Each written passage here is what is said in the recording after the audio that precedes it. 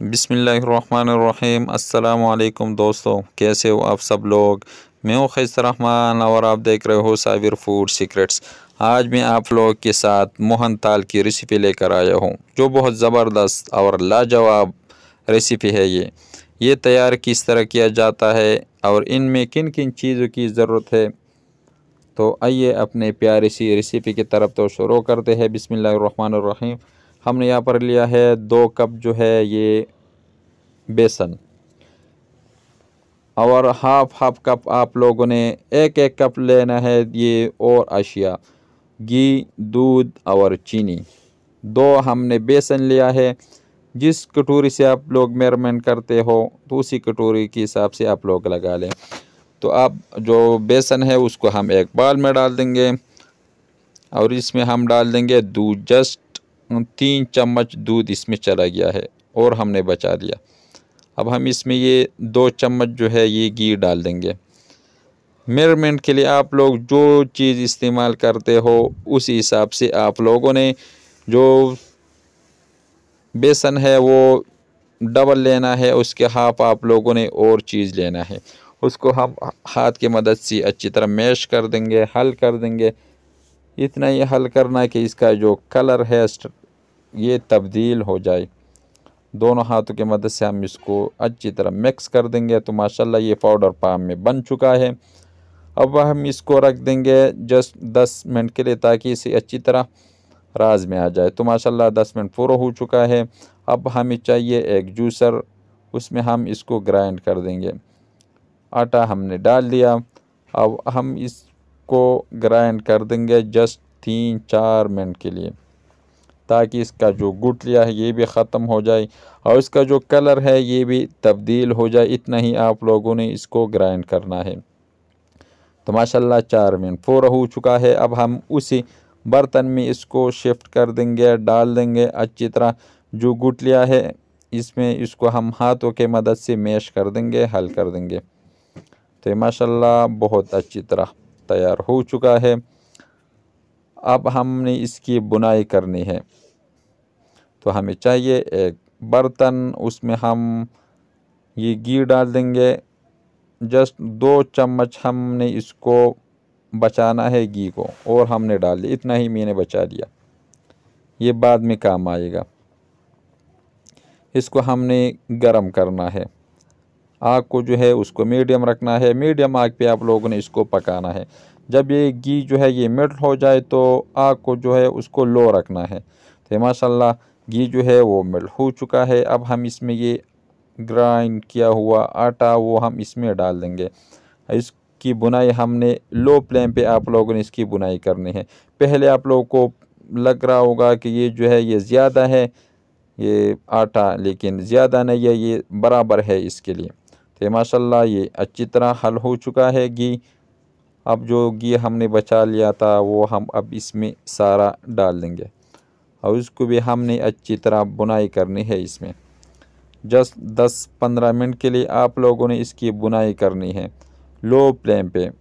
ये जो है मोहन ताल और बेसन की जो बर्फ़ी है, ये एक जैसा होता है। इतना ही आप लोगों ने पकाना है कि अच्छी तरह बून जाए, ये बबल अच्छी तरह बबल आना शुरू हो जाए। तो ये तैयार हो चुका है। अब हम इसमें ये दूध डाल देंगे। थोड़ा थोड़ा दूध आप लोगों ने इसको डालना है, उसको हमने पकाना है। थोड़ा सा डाल दें, फिर बाद में जब ये सही अच्छी तरह हल हो जाए तो थोड़ा सा और डाल दें। तो ये हल हो चुका है, अब हम दूध जो है वो और डाल देंगे।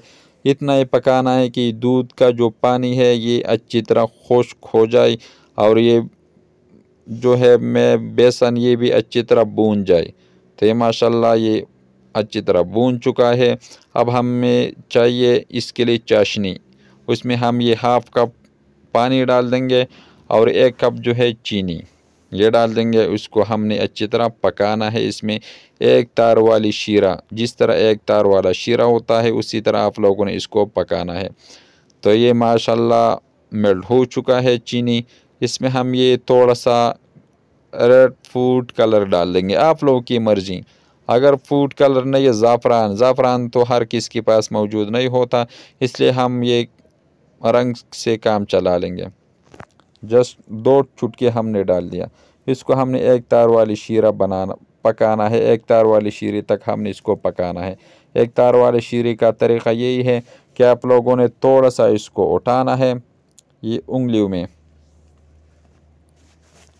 इस तरह उठाना है। जब एक तार बन जाए इसी तरह उंगली के दरमियान तो ये तैयार हो चुका है। अगर इस तरह भी नहीं तो आप लोगों ने चम्मच के साथ इस तरह उठाना है। जब आखिरी गून ये थोड़ा सा बाद में गिर जाए तो आप लोग का जो ची चाशनी है, ये तैयार हो चुका है। तो माशाल्लाह ये तैयार हो चुका है।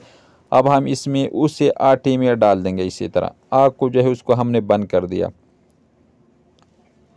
इसी तरह ये गर्म है और आटा जो है वो थोड़ा सा ठंडा हो चुका है। अब हमने इसको इसी में हल करना है, अच्छी तरह हल करना है। इतने देर तक कि आटा जो है इसमें से अच्छी तरह गुल मिल जाए ये शीरे में। इतना ही आप लोगों ने इसको हल करना है। तो फिर बाद में आप जब ये हल हो जाए तो आग को जो है उसको मीडियम रखना है। अब हमने इसको आग में पकाना है। इतनी देर तक इसका जो पानी है ये खुश्क हो जाए। तो माशाल्लाह उसने अपना पानी खुश कर दिया। अब हम इसको एक सांचे में डाल देंगे। सांचा पहले हमने ग्रीस किया हुआ था। उसमें हमने इसको डाल दिया उसको हम ये चम्मच की मदद से अच्छी तरह फैला देंगे, अच्छी तरह अमवार कर देंगे और इसको हम रख देंगे जस्ट आठ घंटों के लिए। रूम टेम्परेचर पे आप लोग इसको रखते हैं। तो माशाल्लाह आठ घंटे मुकम्मल हो चुके हैं। ये जो है ये बर्फ़ी, बेसन का जो बर्फ़ी है, वो बर्फ़ी थोड़ा सा सख्त होता है और ये मोहनताल जो है ये बहुत नरम बहुत जायका नाक होता है। और इसके ऊपर हम ये पेपर, वर्क पेपर, ये बाज़ार में मिल जाता है केमिकल वालों के पास। इसके ऊपर हम इसको डिज़ाइन करने के लिए लगा देंगे। तो हमने इसको लगा लिया और ये पिस्ता हमने बारीक काट लिया। इसको भी हम इसके ऊपर इस तरह सजा देंगे। सजावट के लिए आप लोगों ने इसको करना है। तो ये हमने डाल दिया और इसको हमने हाथ के मदद से थोड़ा सा दबाना है कि इसे अच्छी तरह इसमें लग जाए। तो ये हाथ की मदद से नहीं होता। हम इसको चम्मच की मदद से थोड़ा सा ज़ोर दे देंगे। ये बहुत नरम होता है। बर्फ़ी एक अलग किस्म होता है और ये मोहनताल जो है, ये एक एक अलग किस्म की होती है। तो इसको हम इसी तरह काट लेंगे। साइडों से दरमियान से इस तरह हम कट लगा लेंगे। आप लोग एक बार ट्राई कर लें। ये बहुत ज़बरदस्त नाक होता है। बर्फ़ी जो है वो थोड़ा सा सख्त होता है और ये मोहनताल जो है, ये बहुत नरम। इसको हम अभी इस तरह कट लगा लेंगे, उसको हम थोड़ा सा चिक कर देंगे। तो हमने कट लगा लिया और इसको हम थोड़ा सा उठा देंगे। तो माशाल्लाह बहुत ज़बरदस्त लुक। अब हम इसको एक प्लेट में सजा देंगे। हमने इसको एक प्लेट में डाल दिया। अच्छी तरह आप लोग डिज़ाइन जिस तरह भी रख सकते हो। अगर कोई नहीं है जनाब तो हमारे चैनल को लाइक कर दे, सब्सक्राइब कर दे, अपने दोस्त अहबाब के साथ शेयर कर दें। तो माशाल्लाह बहुत ज़बरदस्त स्ट्रक्चर लुक बहुत ज़बरदस्त आया हुआ है। तो ये हम जितना भी है, सबको इसी तरह रख लेंगे। और एक को हम तोड़ देंगे आप लोग को चेक करने के लिए कि कितना नरम है ये। आप लोग ख़ुद अंदाज़ा लगा सकते हो। बर्फ़ी जो है, वो थोड़ा सा सख्त होता है और ये बहुत नरम। तो ये हमने काट लिया। बहुत ज़बरदस्त रेसिपी है ये, बहुत नरम। अगर ये रेसिपी आपको अच्छी लगी हो तो हमारे चैनल को लाइक कर दे, सब्सक्राइब कर दे अपने दोस्त अहबाबी के साथ शेयर कर दे और खैस रहमान को इजाज़त दे, अपना बहुत सारा ख्याल रखेगा, मिलती है एक नई रेसिपी भी। तब तक के लिए अल्लाह हाफिज़।